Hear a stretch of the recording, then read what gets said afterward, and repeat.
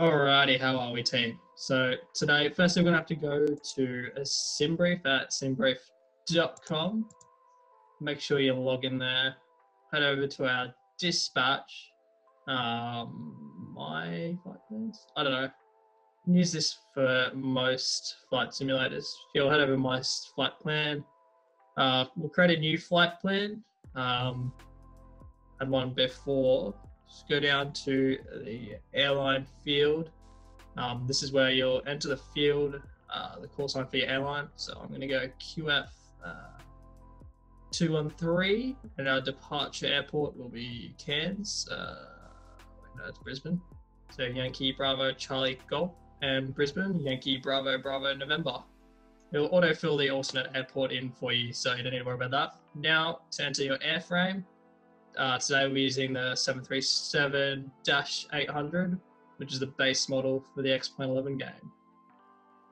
Um, so this is, these all these fields are related to the uh, vertical navigation, which we're not really worried about. We're only worried about the lateral navigation, LNAV. Um, so we can see our waypoints for this routing. Only a short flight, about 20 minutes, 15, 20 minutes. Um, we go down, we can actually see a map of our flight here. Uh, so we'll be taking off to the south of Gold Coast Airport and then arriving into the city from near Straddie from Brisbane. So it's actually important that it doesn't actually register the runway you take off and depart on the FMS. So we need to actually understand which runways we're using. Um, so we head over and we search the. Well, first we need to create a notepad to be honest, so we can write all this information down. Let me just find a notepad here online. Yeah, no required. Yep, that'll do. Uh, Gold Coast runway map. It's always a good, good search. And yep, over the images. Yeah, this one looks good. So we can see we have two runways. We'll do that same for Brisbane. Um, we're using the old Brisbane runway map. Um, I know they use a dual runway, dual parallel runway now, but not quite up to date with that.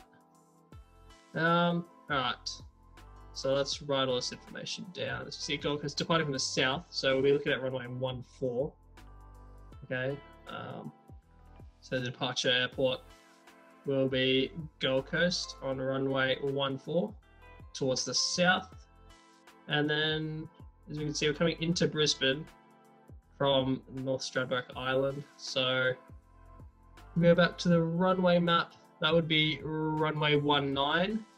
Um, can write that down on my notepad. So arrival into Brisbane, runway 19. Yep. Okay. And that's pretty much all the information we really need. Just the runways for the lateral navigation. Um, what else do we need to know? I mean, I guess could write down the cruise altitude. Uh, probably set that at 12,50120. Looks about right for that sort of short flight. Um, speed, Let's go 250 knots. What else is important? Our climb and descent modes. We'll go for a level change mode just to maintain that speed. Um, that's pretty much all we need to write down in terms of notes. Um, so we're gonna have so we're gonna we're gonna go back to SimBrief um, just check everything's up to date. Go back up top, uh, generate the OFP. Yes, this is all good. And now that will actually generate a flight plan that we can actually chuck into our FMS for X-Plane 11. So if there's no errors there, that means it's all good. Um, can slide down here.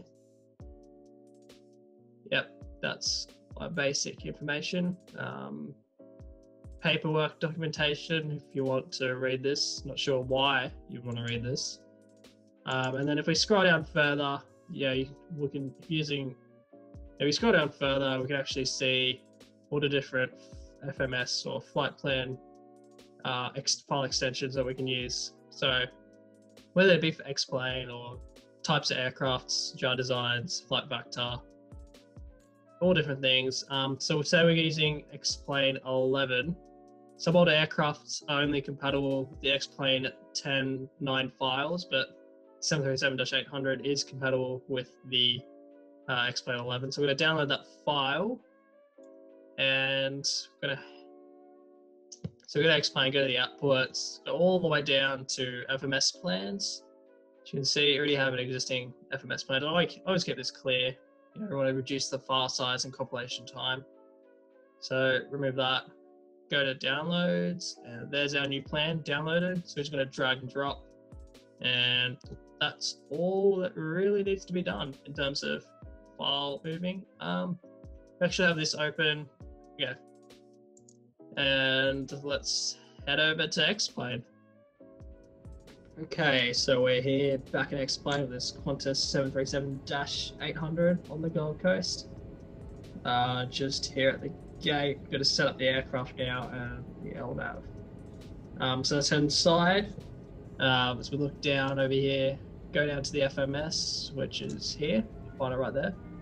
Um, we'll just turn on the lights first just to keep this real professional. Um, yeah, that looks good. Okay, so we'll go down here.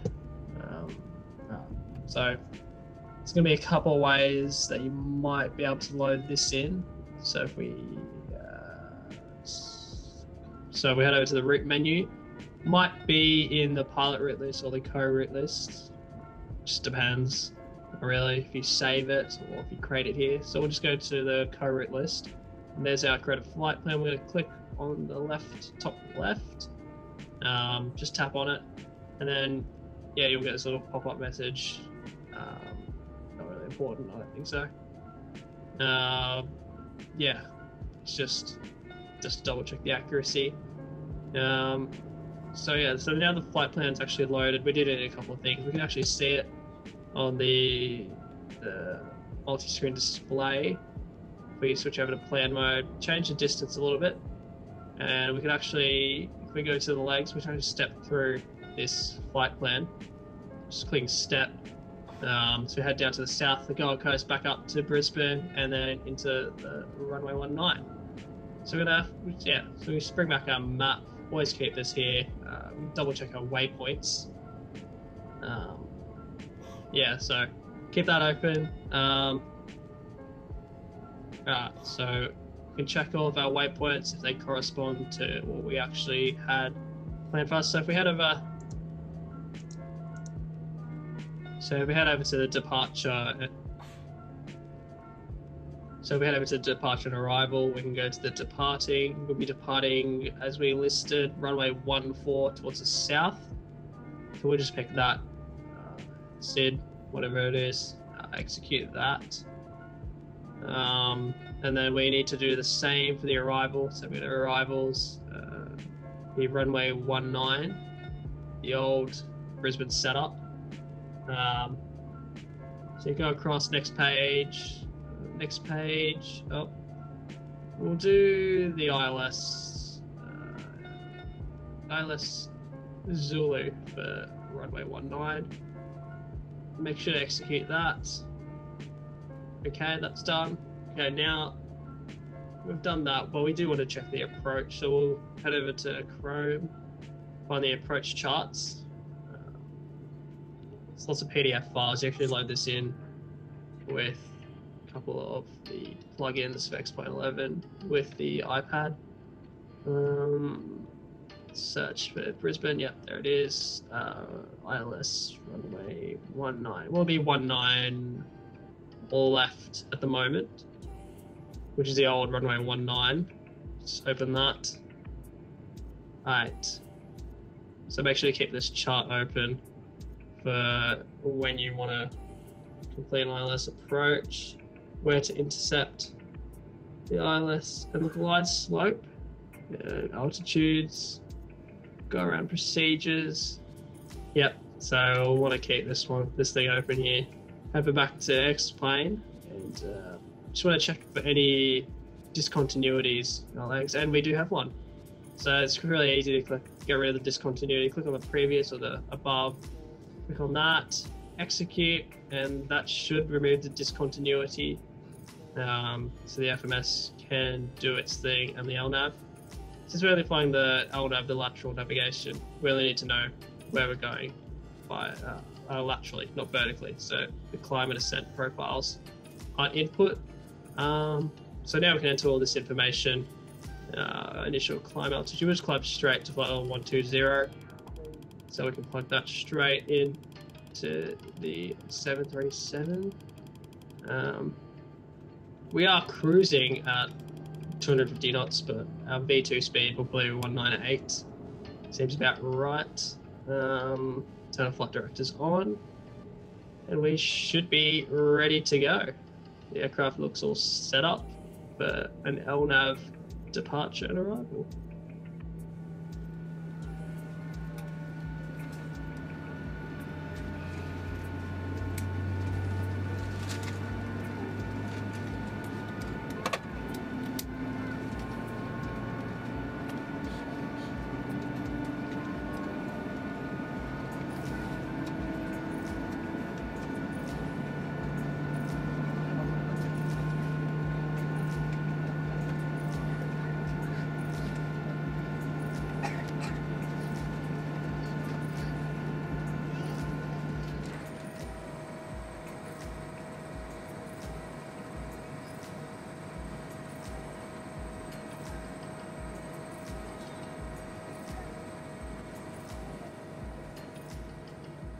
So now that we've chucked the flaps out, we actually go to runway 14 here on the Gold Coast. Um, just taxi towards it. Actually, it's quite a long way, so we'll just bring up the map and just uh, shakily teleport there. It's a bit quicker. Um, yeah, just drag ourselves over there. Yeah, that's about right. So we'll taxi onto runway 14 and just complete a normal departure. Just check both ways. Clear of any traffic, no one on final. Uh, try align ourselves well with the center line. I think the trick is to use the master caution uh, chimes as center line if you're in the captain's seat. So set the parking brake uh, everything's good. Yeah, better chuck the seatbelts on. It's not going to be a great takeoff, to be honest. Uh, these lights on. Landing lights on. Um, okay, so we're just going to have the parking brake set. Throttle levers up to 40%. Uh, just wait for that to warm up. And then once that reaches 40, it's going to release and we're going to set toga little bit of forward pressure on the yoke just so it doesn't rotate too early and I think we're good to go.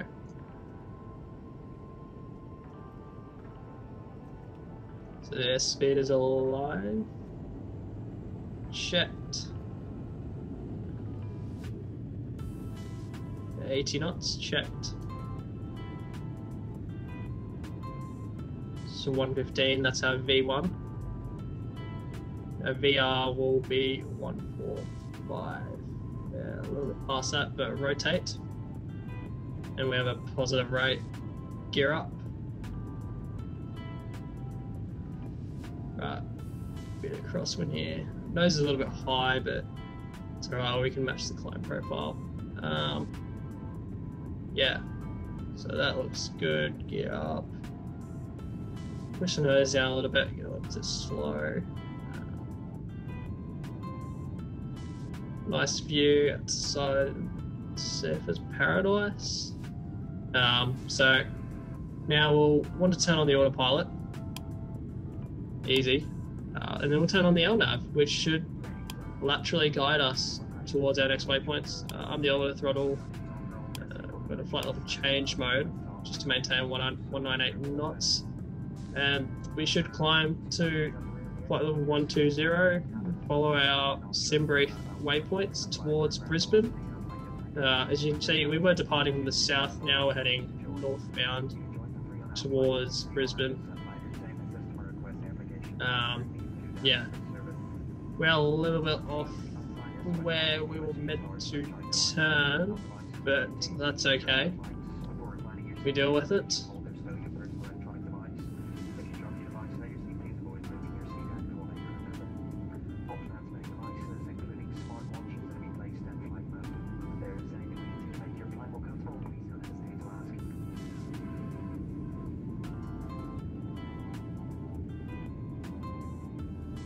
So as we approach our waypoint, we're actually aligned with it. Um, so when you're in LNAV mode, lateral navigation, uh, aircraft should automatically go towards the next waypoint. Um, we did overshoot a little bit, skipping time there. Um, that's no worries. The autopilot should bring us back on track. Um, it is banking at our normal default setting. can actually make it bank a little bit more steeper by changing angle. Um, yeah, that should return us back online towards our desired path and trajectory. Great view outside uh, of the Gold Coast. Don't have any orthos or anything at the moment. It's just clogging up my RAM. Um, Alright, let's get back to this. On target. Alright, here we go. So now we're aligned. Uh, we'll retract the flaps. Now, as we head over to here, we can actually see we can actually go direct to our waypoint. So we have Bravo, Oscar, Alpha, Tango, Sierra here. We actually want to skip couple of waypoints. We're going to go direct. Uh, it's pretty simple. Go to the direct edit, um, select the waypoint, and then just click it on the arrow. And then that will take us direct if we get revectored by ATC. You know, hey, we've got a better routing for you. You can go through this. Um, and that actually skips a couple of waypoints, reduces our distance. So should be quicker now. And we actually also go direct to a waypoint if we want. So sit here where we can type our waypoint and go, uh, let's go Bravo, where's Bravo? Bravo, Oscar, Oscar, Zulu, Echo. So if we type that in, and then we can just actually go direct to that if we want to. So I guess this is the basic LNAV um, tips and tricks for the Boeing 737-800, but can actually apply to most aircraft depends how you look at it. So we're just going to skip ahead and enjoy this final visual approach into runway 19 for Brisbane, and I'll see you in the next video.